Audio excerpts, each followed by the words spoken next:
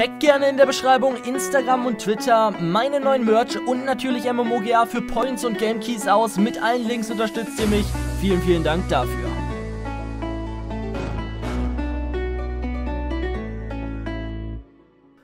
Moin Moin und ein herzliches Willkommen hier mal wieder zurück zu einer weiteren Sprint to Glory auf meinem Kanal und zwar starten wir heute mal wieder rein in Deutschland mit einem recht umstrittenen Verein aber ich finde, das sollte in diesem Video komplett egal sein, denn wir führen einen deutschen Verein zum Champions League Titel, der vom Transferbudget mit am besten dasteht. Das ist RB Leipzig. Falls euch das Ganze gefällt, würde ich mich riesig über einen Daumen nach oben freuen. Ich denke, es wird sowieso ein wenig Hate auf dieses Video wahrscheinlich geben, aber ich hoffe, ihr könnt auf jeden Fall dagegen anstimmen und lasst auf jeden Fall, falls euch allgemein Sprint to Glories gefallen, einen Daumen nach oben da. Würde mich auf jeden Fall riesig freuen, wenn wir auf diesem Video die 1000 Likes knacken würden. Und dann würde ich sagen, starten wir direkt rein in eine Sprint to Glory mit Leipzig. Man muss immer sagen, Leipzig hat hervorragende Jugendarbeit. Wir haben sehr viele junge Spieler, haben viel Transferbudget. Es ist eigentlich der perfekte Verein für eine Sprint to Glory und ich bin gespannt, wie lange wir brauchen, um mit Leipzig den Champions League Titel zu holen. Das ist dann der aktuelle Kader von RB Leipzig. Gulaschi im Tor. Ja, da hätten wir auch noch jüngere Alternativen, wie zum Beispiel Mvogo oder auch Philipp Köhn heißt er, glaube ich, mit Vornamen. Und trotzdem, glaube ich, ist das die Position, die ich als erstes verstärken möchte. Wir haben jetzt in der Innenverteidigung Orban und Upamecano. Orban ja, solide 24 Jahre alt, Upamecano sehr, sehr jung, 18 Jahre alt. Links Halstenberg, da haben wir zur Not noch Bernardo, der glaube ich auch auf links spielen kann. Dann haben wir Klostermann rechts, auch sehr, sehr jung. Keita, überragender Spieler. Kampel haben wir hier noch. Dann haben wir Forsberg, der auch nicht der älteste ist. Werner, natürlich noch sehr jung. Paulsen, 23 Jahre. Aber da überlege ich tatsächlich auch, ob wir uns da nochmal verstärken. Und dann haben wir noch Sabitzer, auch 23 Jahre und dann auf der Bank noch ein Bruma in Augustin. Also wir haben wirklich eine sehr, sehr starke junge Mannschaft. Hier Konate auch gerade mal 18 Jahre alt, könnte man auch spielen. Leimer gerade mal 20 Jahre alt. Also, ja, wenn man so auf die Spieler guckt vom Alter her, haben wir ja wirklich einen der jüngsten Kader. Vielleicht sogar den jüngsten Kader in der Bundesliga. Und ja, wir kümmern uns jetzt um Transfers, die natürlich auch ein wenig in das Beuteschema von RB Leipzig passen. Der erste neue Spieler ist am Start und zwar einfach mal das größte Torwarttalent, was derzeit so auf dem Markt ist. John Luigi Donnarumma wechselt zu uns, ist natürlich direkt erster Keeper und kommt damit hier rein. Und jetzt, wie gesagt, würde ich ganz gerne noch einen weiteren Stürmer holen, der noch ein wenig mehr Potenzial hat als Paulsen. Der erste Spieler von unserer Seite aus ist jetzt auch verkauft und zwar handelt es sich hierbei um unseren Rechtsverteidiger Lukas Klostermann. Dieser wechselt für 16,3 Millionen nach England zu Stoke City.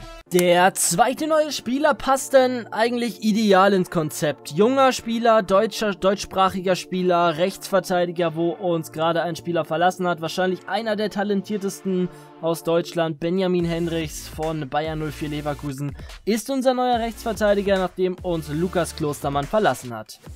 Und der letzte neue Spieler in dieser Transferphase ist jetzt auch gefunden. Ebenfalls wieder ein Spieler, der sich in Deutschland schon auskennt und ein junges Talent ist. Wir haben jetzt Embolo und damit denke ich, sind wir vorne gut aufgestellt mit Werner, Embolo, Augustin und zur Not, also wirklich zum allergrößten Notfall hätten wir auch noch Paulsen. Und ja, davor haben wir allerdings zwei Megatalente mit Augustin und Embolo und Werner wird sowieso immer spielen. Wir starten rein in unsere erste Saison und ich hoffe natürlich, dass wir uns direkt im ersten Jahr international qualifizieren können.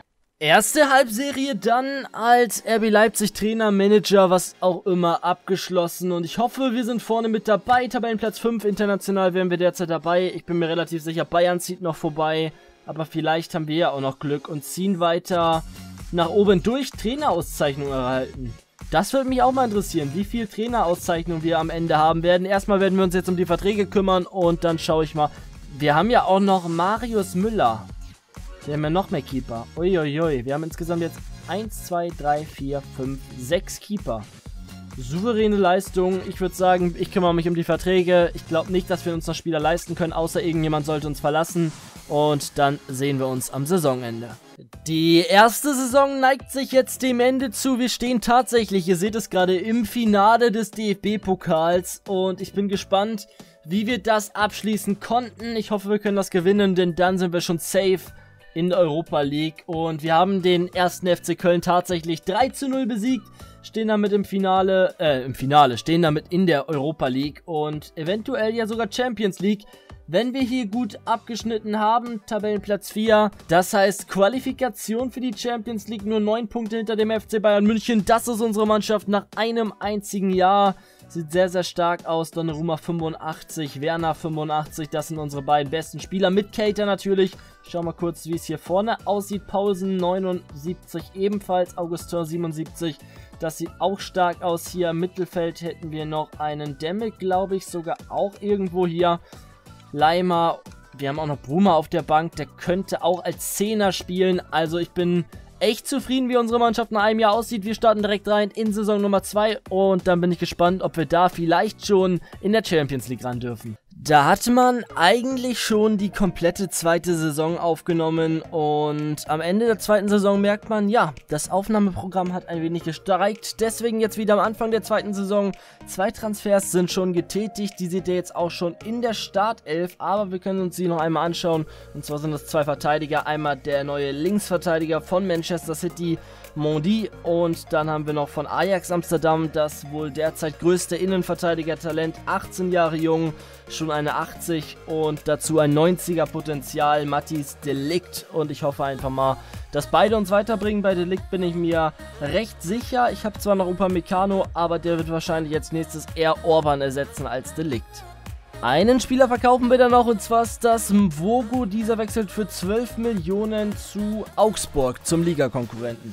Nachdem wir uns dann jetzt im Anschluss Ende August für die Champions League sogar qualifiziert haben, der Gesamt 4-1-Sieg gegen Sion, geht es direkt rein in die Saison und zwar, wie gesagt, jetzt Champions League das erste Mal und dann natürlich noch die Bundesliga. Die Hinrunde ist dann jetzt auch schon ganz, ganz schnell vorbei und ich hoffe, wir sind noch dabei. In der Champions League, in der Liga derzeit Tabellenplatz 4, das würde bedeuten Champions League Qualifikation, aber das Wichtige ist die Champions League. Sind wir da jetzt noch dabei oder nicht? Das sehen wir jetzt und es lädt, es lädt, es lädt. Wir sind, wir sind tatsächlich draußen. Ich kann euch sagen, wie weit wir letztes Mal gekommen sind. Ähm, letztes Mal haben wir es tatsächlich bis ins Halbfinale geschafft. Und jetzt scheiden wir einfach in der Gruppenphase aus. Irgendwie mega random gerade. Wir haben sogar Real, äh, Real Madrid, sag ich schon. Wir haben sogar Atletico Madrid in der K.O.-Phase noch geschlagen. Aber gut, dann sind wir jetzt halt draußen und dann fokussieren wir uns nächstes Jahr nochmal auf die Champions League. Jetzt sind wir dann auch am Saisonende angekommen. Wir waren tatsächlich noch in der Europa League vertreten. Da sind wir dann gegen Schalke ausgeschieden, also im deutsch-deutschen Duell. Sehr, sehr belastend. Insgesamt auch nur ein 52er Rating. Damit geht es das zweite Jahr in Folge in die Champions League Quali. Erster neuer Transfer der neuen Saison, der Saison Nummer 3, ist ein neuer Stürmer und zwar Antonio Sanabria wechselt aus Spanien zu uns. 84er Gesamtstärke und ja, der bringt unser Team dann nochmal auf ein höheres Level. Jetzt ist der schlechteste Spieler unser Rechtsverteidiger Henrichs und wir haben eigentlich auch, vor allem im Sturm, sehr, sehr gute Ersatzspieler. Und jetzt kommt erstmal Sanabria in den Sturm und dann sieht unsere Mannschaft jetzt derzeit so aus. Wir verkaufen unseren ersten Spieler der Saison und zwar einen, der seit Anfang an dabei ist. Kevin Campbell wechselt für 32 Millionen zum FC Liverpool. Und tatsächlich nach dreimal Vertragsabbruch haben wir es jetzt geschafft. Juri Tielemans wechselt kurz vor Ende der Transferphase zu uns. Kibayos wäre es eigentlich gewesen und der hat uns einfach eine einzige Stunde Zeit gegeben, um zu überlegen, ob wir ihn haben wollen oder nicht. Dann hat er das Ganze abgebrochen, aber ich bin mit, ich sag ganz ehrlich, mit Thielemanns zufriedener als mit Kibayos und der kommt direkt in die erste Mannschaft und dann starten wir rein in die Hinrunde der dritten Saison mit RB Leipzig. Wir sind in der Winterpause unserer dritten Saison angekommen und schauen jetzt mal wieder rein, wie es denn so aussieht und ui. Also in der Liga Weltklasse. Wir gehen zu 90% sage ich mal als Wintermeister in die Winterpause oder als Herbstmeister in die Winterpause und wir schauen jetzt natürlich noch, wie es hier aussieht. DFB-Pokal sind wir jetzt noch am Start. Da ist man meistens irgendwie recht früh ausgeschieden und dann jetzt noch das Wichtigste und Letzte, die Champions League. Da sind wir als Gruppenzweiter weiter. Wahrscheinlich hinter Juventus Turin, die ich gesehen habe, die in unserer Gruppe waren. Ich denke einfach mal, dass die da den Erster sind. Juventus Turin Erster, 15 Punkte, wir Zweiter, 9 Punkte. Wir Real Dritter, Beschik das Vierter. Und damit starten wir direkt rein in die K.O.-Phase der Champions League. Es geht rein in unser erstes Champions League K.O.-Spiel jetzt ja tatsächlich. Da die eine Saison ja leider nicht aufgenommen wurde, ist das jetzt tatsächlich die Nummer 1. Und ich schaue nochmal kurz, Upamecano hat die 81. Okay, Bernardo 80. Wir haben noch Augustin, Paulsen, Boomer. Also wir sind wirklich relativ breit aufgestellt, auch wenn man sich die Bank anguckt. Selbst Embolo ist ja auch noch hier. Fällt mir gerade mal auf, der kann auch nochmal mit auf die Bank. Also wir haben einen enorm starken Kader gehen jetzt aber auch rein in eine Mannschaft oder in ein Spiel gegen eine Mannschaft, die natürlich auch ihre Stars hat. Ein Mbappé, ein Neymar eventuell. Wir werden es sehen. Ich denke, PSG ist auf jeden Fall die Mannschaft, die hier favorisiert wird. Und ich hoffe, dass wir das einigermaßen gut machen können. Neymar ist auf jeden Fall da. Ich denke mal, Mbappé ist zurückgegangen nach der Leihe, aber dafür ist ein Batshuayi da, dafür ist ein Plattenhardt aus der Bundesliga da. Sanabria jetzt allerdings mit dem 1 zu 0 in der 26. Minute. Hier ein Sieg wäre natürlich mehr als Traum.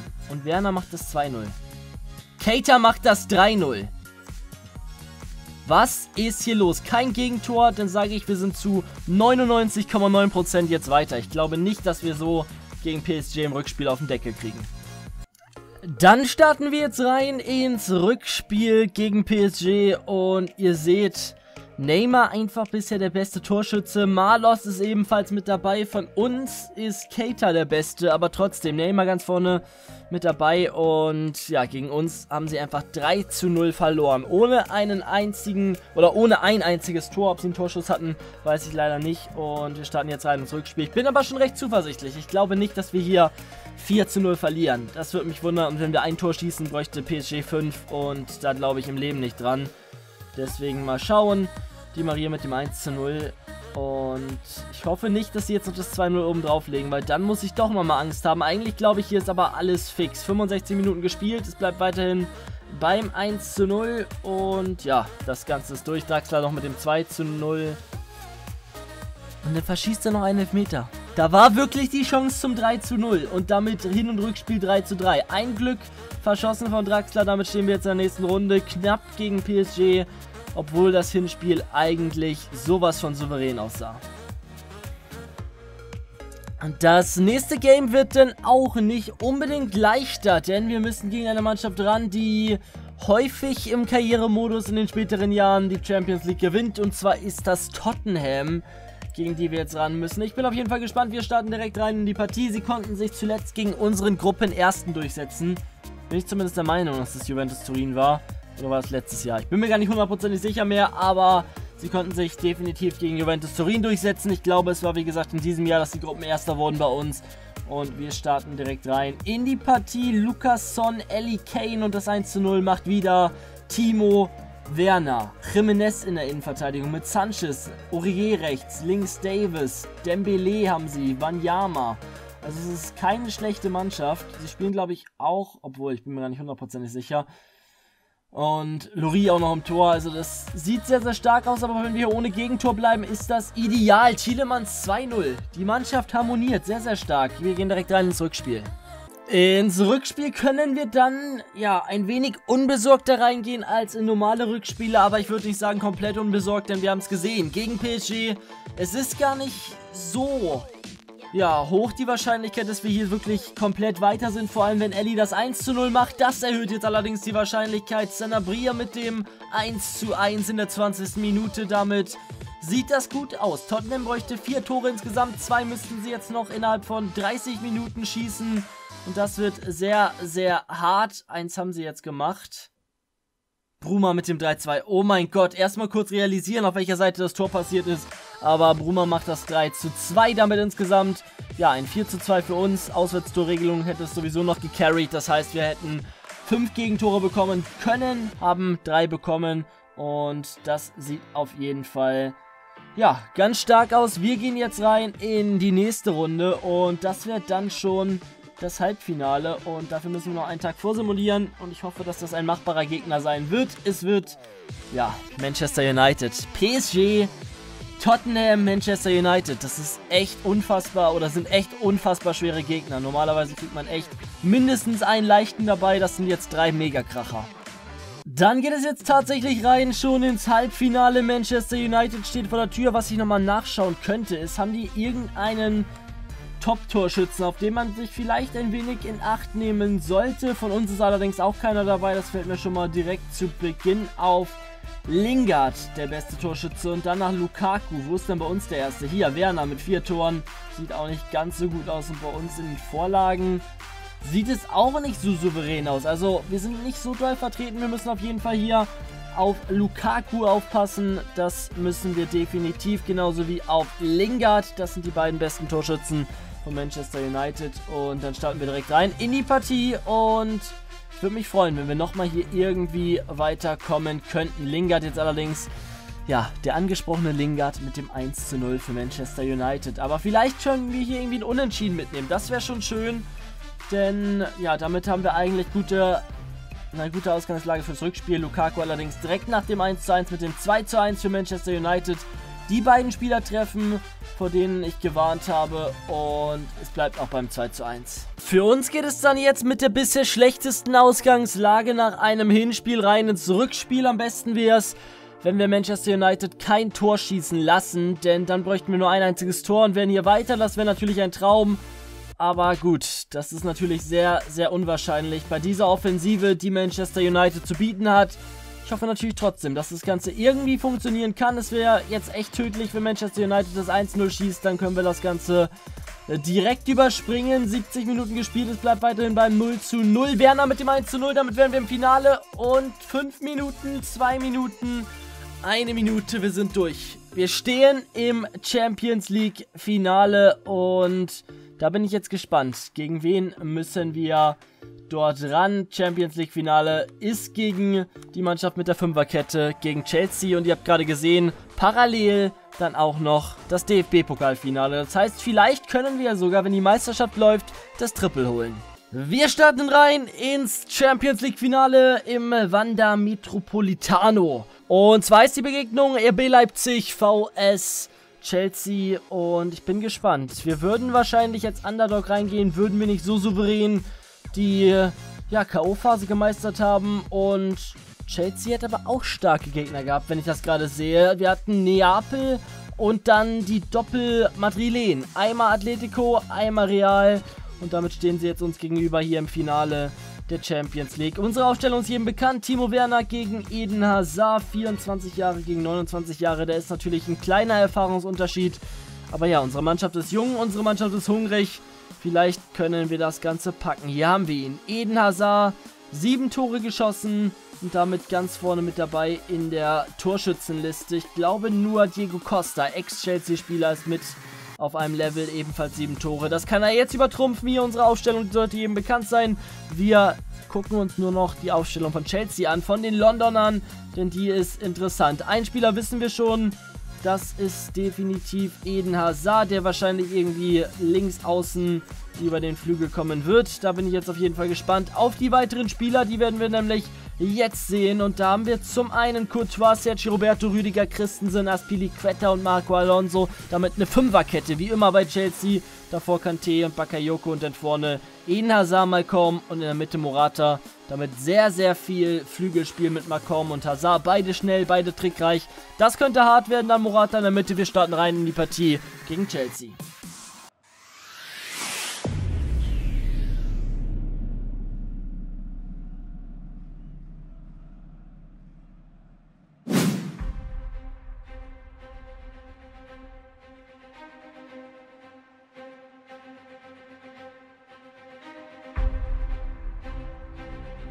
Und das ging schnell. Noch nicht mal eine Minute getickt und da steht es 1 zu 0. Schnellstes Tor der Champions League Geschichte in FIFA wahrscheinlich wohl. Also, ich weiß nicht, ob da jetzt noch eine Minute steht oder ob da zwei Minuten stehen wird, aber Courtois läuft raus, verschätzt sich damit ein bisschen Sanabria mit dem 1 zu 0. Perfekter Ball übrigens, das habe ich noch nicht erwähnt und der kam, glaube ich, von Forsberg. Und wir schauen jetzt an ob das Ganze in der ersten Minute war. War das Ganze tatsächlich in Minute 1? konnte Sanabria hier direkt nach, ja, 59 Sekunden glänzen. Wow, schnellstes Champions League Tor oder Champions League Finaltor aller Zeiten vielleicht, mit FIFA denke ich mal definitiv.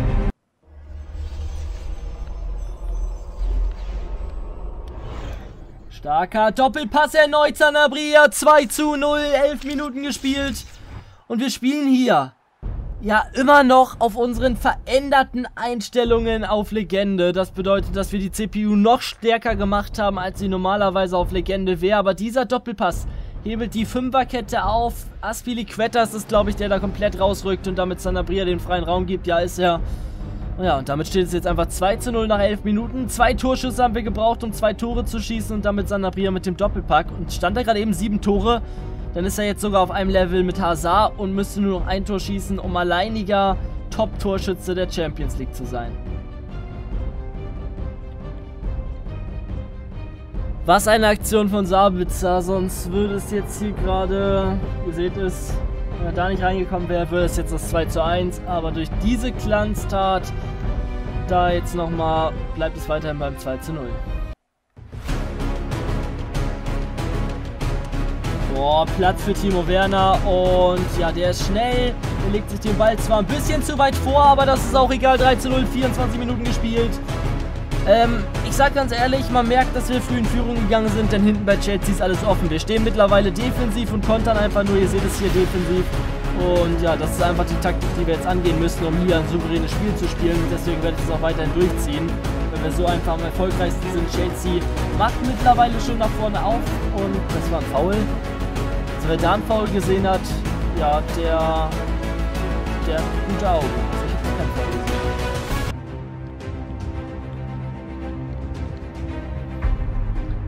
Und da ist es passiert. Chelsea 3-1. Also so einfach ist es hier nicht. 29. Minute schon oder 30. Minute und schon vier Tore passiert. Das sieht man, glaube ich, auch nicht in jedem Champions League-Finale.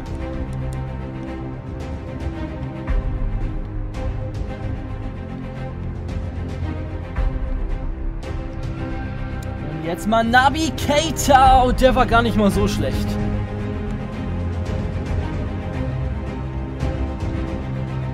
Große Lücke. Sanabria ist durch. Sanabria mit dem Abschluss nochmal und Kutsch war's da.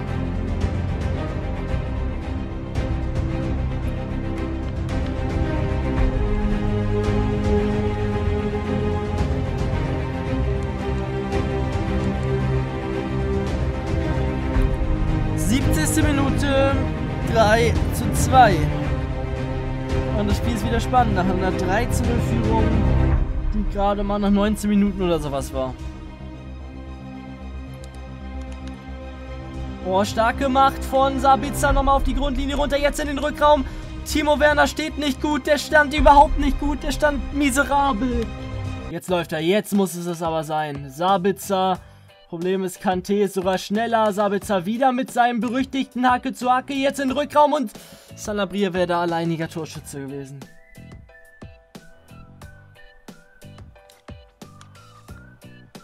Vorbeiziehen. Sanabria, bitte mach ihn jetzt aber. Und nein. Und Werner läuft. Muss ich noch über Forsbeck reden? Ist er gerade weggelaufen vom Ball? Wollte er den Ball gerade nicht haben? Ich glaube, es war so. Ich glaube, Forsberg wollte den Ball gerade nicht reinmachen. Der ist wirklich weggelaufen. Und ja gut, wir gewinnen trotzdem 3 zu 2 und jetzt heißt es nur noch, wie sieht es aus im DFB-Pokal und wie sieht es aus in der Bundesliga. Aber ich muss gerade ehrlich sagen, es passiert, wir haben zwar gewonnen, aber es passiert so viel Nonsens in diesem Spiel. 3 zu 2 Sieg und wir schauen rein auf die Tabellen. Und zwar ist es noch der DFB-Pokal und die Bundesliga. Vielleicht könnten wir tatsächlich das Triple in den Osten von Deutschland holen. Und äh, DFB-Pokal haben wir tatsächlich gewonnen. Und Liga auch. Triple nach Leipzig. Also, wenn euch das Ganze gefallen hat, lasst definitiv gerne einen Daumen nach oben da. Vielen, vielen Dank fürs Zuschauen und dann bis zum nächsten Mal. Haut rein und ciao, ciao.